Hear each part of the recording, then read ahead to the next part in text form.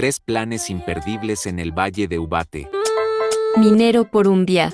Una experiencia única en Cucunuba, Cundinamarca, la única mina de carbón real donde los visitantes pueden interactuar con los trabajadores a más de 500 metros bajo tierra. Caja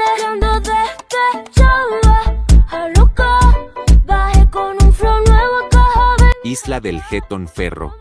En Fuquene, Cundinamarca, en la laguna, puedes visitar la que fue la casa de un escritor colombiano donde se reunía la élite de la época. Para llegar hasta esta isla hay que viajar en lancha. Farallones de Sutatausa. Sutatausa, Cundinamarca, sus farallones, una maravilla natural donde puedes caminar, practicar deportes extremos y disfrutar del paisaje.